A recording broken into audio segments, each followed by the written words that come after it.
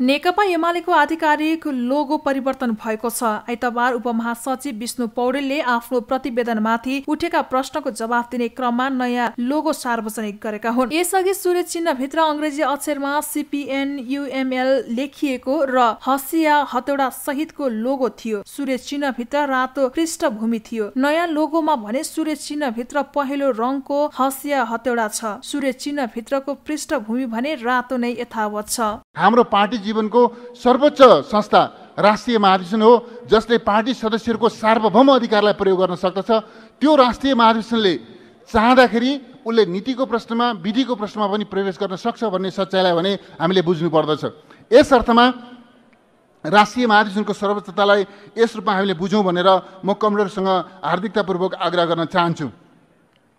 कमरेडरले मूलत हाम्रो पार्टीमा नयाँ यङ एनर्जेटिक एउटा पङ्क्ति विशाल पङ्क्तिलाई पार्टीको चाहिँ विभिन्न तहमा प्रशिक्षित गर्दै आन्दोलनमा सङ्गठनमा खार्दै परिष्कृत गर्दै पार्टीको उच्च नेतृत्वमा पुर्याउनका निम्ति त्यस खालको वैधानिक प्रबन्ध गर्नुपर्छ भनेर साथीहरूले कमरेडले जोड दिनुभएको छ। विभिन्न टोली नेताहरूले त्यस प्रकारका सुझावहरू दिनुभएको छ। यो सुझावप्रति म हार्दिक सम्मान गर्न चाहन्छु। युवाहरू जो जसको जो हाम्रो आन्दोलनका पनि भविष्य हुन् सिङ्गो राष्ट्रका भविष्य हुन् उनीहरू चाहिँ यो हाम्रो पार्टीको विभिन्न तहबाट गुज्रिँदै नेतृत्वदायी निकायमा आउन सक्ने त्यस खालको प्रश्न प्रबन्ध गरेर जानुपर्छ भन्ने कमरेडको सुझावलाई म सम्मान गर्न चाहन्छु। त्यस्तै एमाले सत्तरी वर्षमा कोही उम्मेद्वार भएर जितेमा पुरा कार्यकाल काम गर्न पाउने व्यवस्था विधानमा गरेको छ। सत्तरी वर्षको उमेर हद बारे व्याख्या गर्दै संगठन विभाग प्रमुख विष्णु पौडेलले कुनै पनि व्यक्ति पार्टीको कमिटीमा सत्तरी वर्ष पुरा नहुँदै निर्वाचित भएर कार्यकालको बीचमै सत्तरी वर्ष पुरा भए पनि पूर्ण कार्यकाल काम गर्न पाउने जानकारी दिएका हुन्। यस बिचमा कमिटीका आकारहरू धेरै ठुला भएका छन्। आकार केही केही कम्प्युटरले सङ्ख्या पनि भन्दै हुनुहुन्थ्यो। सङ्ख्या भन्दाखेरि वास्तवमा अलिकति जिउ टोक्ने खालको यति ठुलो पनि कमिटी हुन्छ भन्ने खालको एउटा स्थिति छ। पछिल्ला अभ्यासहरूले हामीलाई त्यस ढङ्गले बताइरहेको छ।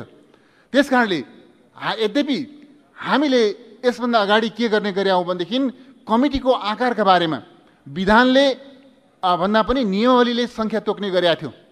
नियमावलीमा सङ्ख्या तोक्ने नियमावली केन्द्रीय कमिटीले बनाउने महाधिवेशनले विधान संशोधन गर्ने त्यस अनुरूप चाहिँ केन्द्रीय कमिटीले नियमावली परिमार्जन गर्ने संशोधन गर्ने वा नयाँ निर्माण गर्ने र त्यो केन्द्रीय कमिटीको नियमावलीमा कुन तहको कमिटीमा कति सदस्य रहन्छन् भनेर प्रबन्ध गर्ने त्यस खालको अभ्यास हामीले गरिआएका थियौँ। तर कमरेडले जुन ढङ्गले स्ट्रेस दिनुभयो यसो गर्दाखेरि त्यो केन्द्रीय कमिटीले कहिले नियमावली बनाउने हो कस्तो नियमावली बनाउने हो कुन परिस्थितिमा नियमावली बनाउने हो र त्यसले चाहिँ महाधिवेशनको स्पिरिटलाई क्यारी अन गर्छ कि गर्दैन भन्ने पनि कमिटीको अभिव्यक्तिमा त्यो अन्तर आशय अभिव्यक्ति भएको मैले महसुस गरेँ। त्यस अर्थमा सबै तहका कमिटीहरूको सदस्य सङ्ख्या विधानमै तोकौँ महाधिवेशनबाटै तोकौँ भन्ने कमिटीको प्र प्रस्तावप्रति सम्मान व्यक्त गर्दै मैले चाहिँ देहाय बमोजिम देहायका कमिटीहरूमा देहाय बमोजिमको सङ्ख्या रहने कुरा म चाहिँ कमरेड समक्ष प्रस्ताव प्रस्तुत गर्न चाहन्छु।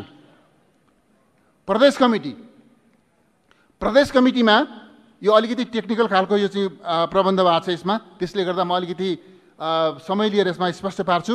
प्रदेश कमिटीमा पचास सदस्य रहनेछन् र प्रतिनिधि सभा निर्वाचन क्षेत्र बराबर एउटा प्रतिनिधि सभा निर्वाचन क्षेत्र बराबर थप पाँचजना सदस्य हुनेछन्।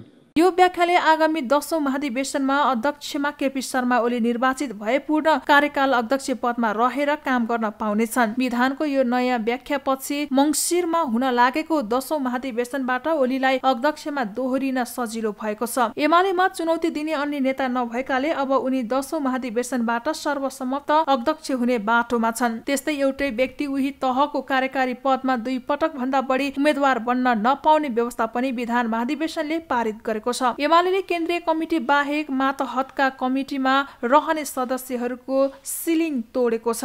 कमिटीहरू ठुला र भद्दा गर्दा पार्टी संगठन लथालिङ्ग भएको भन्दै विधान महाधिवेशनले सबै कमिटी गठन गर्दा सदस्य संख्याको सिलिङ तोकेको हो। अब एमालेका सबै कमिटीको आधार संख्या पचास हुने भएको छ। प्रदेश कमिटीमा पचास सदस्य आधार रहने र प्रतिनिधि सभा निर्वाचन क्षेत्रका आधारमा एक क्षेत्र बराबर पाँच जनाको दरले थपिने भएका छन्। उदाहरणका लागि कर्णाली प्रदेशमा आधार संख्या पचास हुनेछ भने बाह्र निर्वाचन क्षेत्रबाट पाँच पाँच जनालाई थपेर एक सय दस जनाको कमिटी बन्नेछ। जिल्ला कमिटीमा पनि आधार संख्या पचास राखेर प्रदेशसभा निर्वाचन क्षेत्रबाट पन्ध्र जनाको दरले थपिनेछन्। यो हिसाबले एक मात्र प्रतिनिधि सभा निर्वाचन क्षेत्र भएका जिल्लामा अब एमालेको जिल्ला कमिटी असी सदस्य हुनेछन्। पालिका कमिटीको हकमा पनि पचास आधार संख्या रहने र प्रत्येक ओडाबाट पाँच जनाको दरले थपिनेछन्। अब त्यो भन्दा बढी संख्यामा कमिटी गठन हुन नपाउने व्यवस्था गरिएको छ। एमालेको केन्द्रीय कमिटी दुई सय पच्चिस सदस्य रहनेछ। सबै कमिटीमा तेत्तिस प्रतिशत महिला अनिवार्य गर्ने व्यवस्था समेत विधानमै राखिएको छ।